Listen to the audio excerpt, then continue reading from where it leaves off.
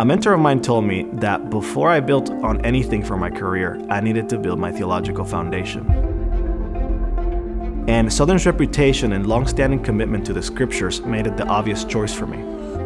In the classroom, we were challenged to not only be good stewards of the word, but also be faithful studiers of this word. Across the Spanish-speaking world, God is awakening a generation to the truths of scripture.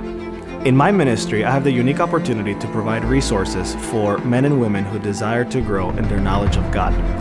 And their response to us reminds me of my response to my professors at Southern.